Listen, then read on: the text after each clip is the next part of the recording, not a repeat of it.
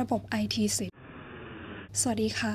วิดีโอนี้จะแนะนำการดาวน์โหลดแอดอินและการติดตั้ง IT 10 Add-in ค่ะ ก่อนอื่น ผู้ใช้งานจะต้องไปยังเว็บพอร์ทัลระบบ IT 10 โดยสามารถดาวน์โหลด Add-in ได้จากแถบเครื่องมือ Microsoft Word Add-in โดยเลือกดาวน์โหลด Add-in ให้ตรงตามสถาปัตยกรรมของเครื่องคอมพิวเตอร์ที่ท่านใช้งาน การติดตั้ง Add-in คลิก next ที่หน้าต่าง Welcome to the iThesis Setup Wizard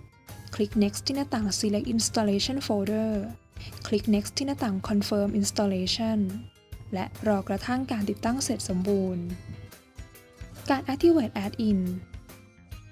login เข้าใช้งานบน web portal ด้วย Username Password ของตนเอง และคลิกที่ปุ่ม login คลิกที่ภาพประจำตัว คลิกที่เครื่องมือ Setting คัดลอกรหัส Add-in Activate Key เพื่อใช้ในการ Activate Add-in จากนั้นเปิดโปรแกรม Microsoft Word และคลิกที่ IT10 Ribbon วาง Add-in Activate Key ลงในฟอร์มที่ปรากฏขึ้น และคลิกที่ปุ่ม Activate รอกระทั่งเครื่องมือต่างๆ ใน IT10 Ribbon ใช้งานได้ คลิกที่ปุ่ม Login จะปรากฏ IT10 Panel ทางด้านขวามือ ให้กรอก Username Password และคลิกที่ปุ่ม Login เพื่อเริ่มใช้งาน Add-in ขอบคุณค่ะ